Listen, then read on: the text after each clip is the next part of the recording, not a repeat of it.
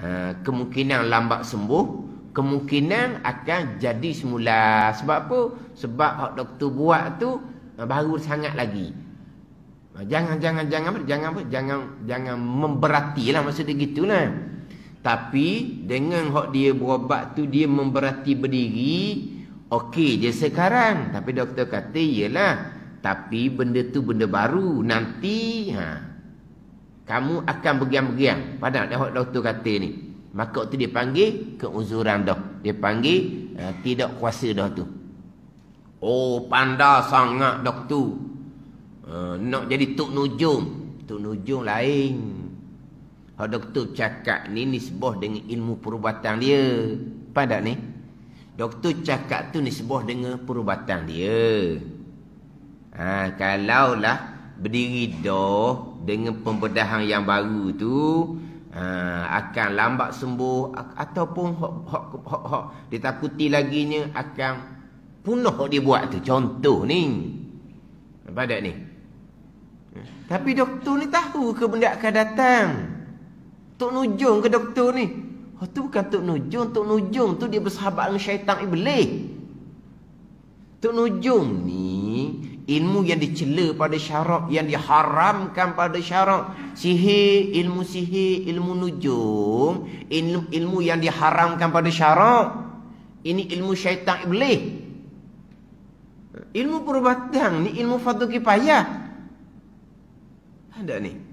Jadi hak doktor cakap tu bukan nujum. Hmm. Oh, kalau doktor bercakap. Syirik kapi. Pun orang lah begitu. Hmm? Eh, pergi jumpa doktor. Percaya tak doktor kata? Kau dah percaya tak gaya wawa? Eh? Kau dah percaya? Hmm. Kau dah percaya tak gaya wawa? Percayalah tu. Doktor kata begitu. Doktor kata, percaya ke dok? Memang percaya. Lepas tu pergi. Lepas tu berpegang ke? Eh, bang akhirnya jangan duk, jangan duk kosek kita orang Islam yang beriman ni kan. Cahaya kau mana? Cahaya kau asbab. Ada ni. Kena cahaya. Ha, cahaya. Oh, doktor kata begitu. Nanti kalau kamu berdiri, eh, kamu ni percaya kepada doktor Nujung ni. Siapa kata doktor Nujung? Hmm.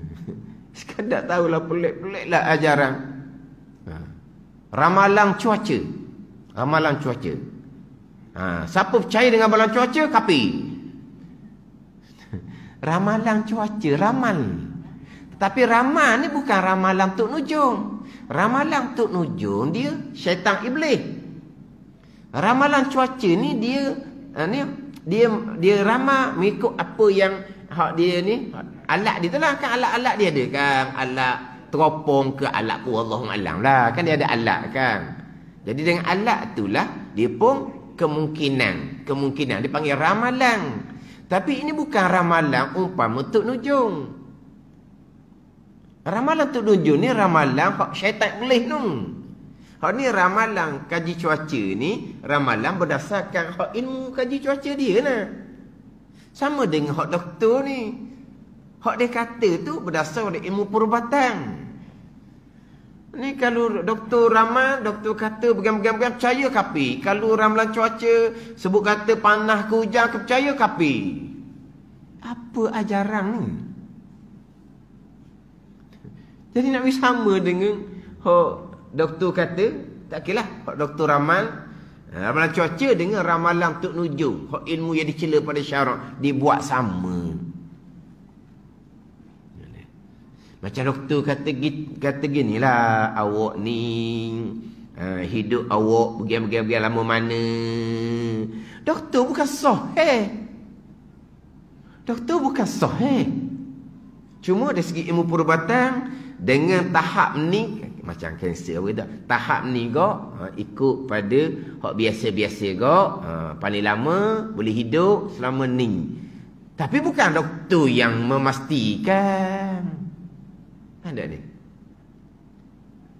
Sama lah macam kita kan tengok orang uzu. Oh, moleknya jangan tinggal lah. Ha, tunggu semua lah ni. Ha, sebab apa ni tandaan-tandaan habis habis habis nyawa ni nak nampak dah. Ramai ke tu?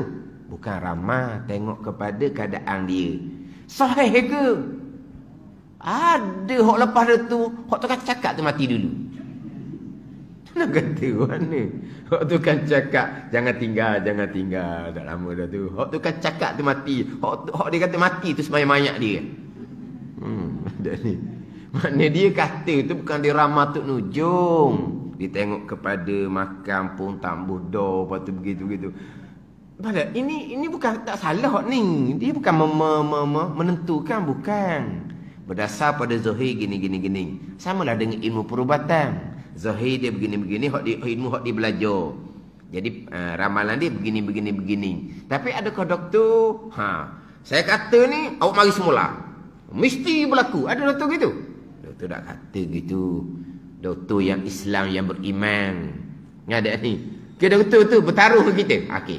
Kamu ni hidup uh, berapa bulan? Uh, nanti. Lepas ni kalau kamu tak mati, ha, kita bertaruh. Ada? Tak adanya. Ada ni. Itu bukan macam umpama ramalan untuk nujung. Bukan. Jadi doktor kata ni kita kena terima. Doktor yang kata ni pula. Ha, macam mana pula kalau doktor tu bukan Islam? yang yang yang yang menasihati kita tu dengan pembedahan lutut ni dengan pembedahan tulang belakang contohnya dinasihatkan siapa masa nak semayang jangan berdirilah contohnya tiba-tiba doktor yang nasihat ni doktor kapi pandai ni sama contoh uh, seeloknya kamu jangan pakai air lah kalau pakai air, doktor ni kata mudarat kamu. Kamu kena tayamum dengan debu tanah contohnya. Tapi doktor ni kapi. Jadi daripada air berpindah pada debu tanah, kena pastikan. Ha, betul, hak kita buat tu. Kalau kita pindah pada debu tanah dah, dan kadang belum lagi dibenarkan, tak sah semayang kita. Sebab kita masih lagi ber, wajib berwuduk. Kita masih lagi wajib berwuduk, tiba-tiba berwuduk ni berpindah pada tayamum. Hak ni kena kena faham molek ni. Ustaz, dan kadang situasi macam mana kau boleh berpindah daripada uh, wuduk menggunakan air kepada debu tayamum? Kalau tidak, kita sudah uh, bertayamum dan kadang kita masih lagi wajib berwuduk, uh, tak sah sembahyang kita. Tiba-tiba yang yang menyatakan tidak boleh guna air itu kena pindah pada tayamum ni, doktor kapi. Ha, macam tadi juga. Yang beri nasihat tu jangan berdiri jangan apa doktor kapi. Dalam mazhab Syafi'i kita diterima. Diterima. Ha, mana doktor yang dipercayai khabar cerita dia, dipercayai cerita dia. Sebab dia ada apa? Dia ada dia punya ni. Dia tu dia punya apa ni? Hak kedoktoran dia kan dia ada dia punya etika ke apa? Dia ada dia punya disiplin dia lah. Mana kalau bohong kau Memang dia kena ambil tindakan lah contohlah Mana dia ada etika dia Mana kita mempercayai Kapi tu kapi lah Tapi dalam bab perubatan ni Dia bukan bohong Dia bukan pembohong Pada ni Maka mazhab syafi'i kita Kita terima. Walaupun cerita tu daripada doktor kapi sekalipun. Walaupun ada mazhab yang tak terima Tapi kita cerita ni mazhab syafi'i kita terima. Kalau mazhab lain, doktor kata, doktor kapi kata kamu tak boleh berdiri contohnya, kamu tak boleh menggunakan air berwudu, kamu kena pindah pada tayamum, doktor kapi kata gitu, kita kena cari pandangan yang kedua, kita kena jumpa doktor Islam pula. Ha, ni kalau mazhab lain lah, bukan mazhab syafi'i.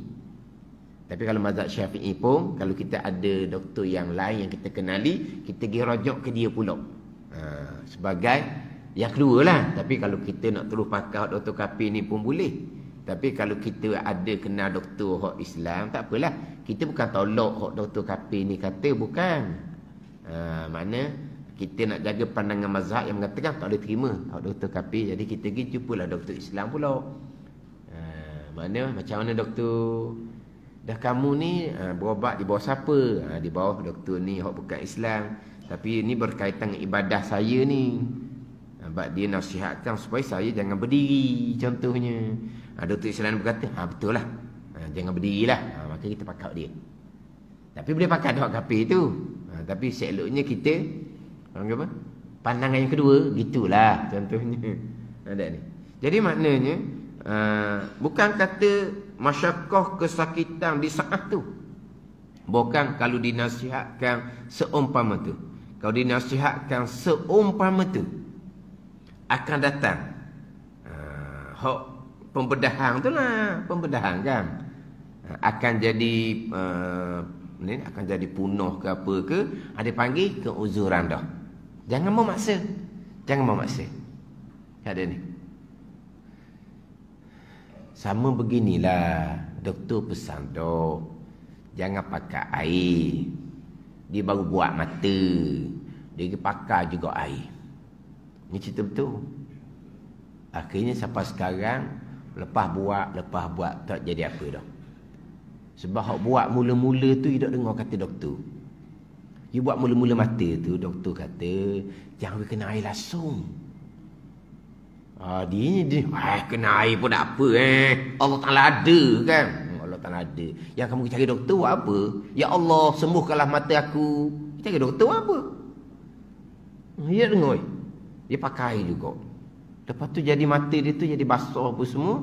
Jadi, ha, apa apa? Ni hok kumang gitulah, gitulah. Pada ni. Jadi akhirnya lepas buat-buat, lepas buat-buat tak jadi sebab apa? Sebab benda sensitif. Buat pertama kali tu pun berisiko dah. Kalau buat pulak, buat pulak, ah tu go gali lah ya pandai pada gali. Kada gali. Eh? Gali dah. Gali ke apa? Hah? Gali lah gali gali. Oh, gali pada gali ni longgo apa ni? Dia benda apa? Eh, longgo dah. Dah benda tu bukan benda boleh halus sangat mata ni. Sekali tu pun uh, apa ni? Berisiko dah. Sekali tu berisiko dah. Hmm, ni buat pulak, buat pulak, buat pulak tak hmm, jadi dah lah. Sebab apa? Dia tak dengar kata. Oh, dia kata ah, Allah Taala ada dia kata. Oh, nak jadi baik baik, nak jadi tak baik tak baik kan. Ha ni panggil apa? Tak ada syariat orang panggil. Tak ada syariat. Allah Taala ada tu pegangan. Hak syariah kita macam mana? Kita diperintah oleh Allah macam mana? Walaupun apa yang kita lakukan tetap kodok dan kodar. Tak ada ni. Tapi kalaulah kerosakan kerosakan kita tu berpunca daripada kita tak dengar kata, jangan sana bodoh kodok dan kodar. Sebab apa? Kamu yang cuai. Pada ni. Jadi mata tu penuh kerana kecuaian kamu. Kodok kodar haram kita menyandau pada kodok kodar perkara yang berpunca dari kecuaian sendiri. Kita ingat baik pula situ. Ada ni. Kalau perkara tu berlaku kecuaian sendiri, jangan sesekali sandau pada kodok dan kodar. Kita bawa kereta mengatuk. Kita pergi tebang bawa juga. Mengatuk dah tu. Berhentilah. Eh. Ar-ar dekat dah. Ar-ar dekat dah. Ar-ar dekat pun dah apa ni? Uh, mana? Terlelap sekejap je cukup dah lah. Dok dok ini lagi. Ar-ar dekat dah. Bertilah dok. Akhirnya babah kodok kodah. Tak boleh kata kodok kodah. Pegangan kita memang kodok kodah belaka. Cakapan boleh dak nak sandar pada kodok kodah haram sebab kecuaian kita. Kita yang cuai. Tahu dah kita mengantuk, tahu dah kita letih. Orang pun tegur dah. Jadilah, berhentilah. Hmm, degil. Ada ni. Tapi yang berlaku tu kodak-kodak. Kodak-kodak pegangan. Tu pada pegangan. Percakapan. Ha, hak tak baik. Hak berlaku pada kecuali sendiri. Jangan sesekali sandar kepada kodak dan kodak. Baik. Hmm. Jadi tak ada syariah. Mana kita kena ikhtiar usaha lah. Apabila doktor pesan tu kita pakai lah. Oh, doktor bukan Tuhan. Memang doktor bukan Tuhan. Siapa kata doktor Tuhan? Yang kamu pergi bedah mata dengan dia tu mengingat dia Tuhan ke? Ha, kita pergi bedah tu itu usaha. Dan sekarang ni oh, doktor besar tu pun itu usaha lah tu panggil.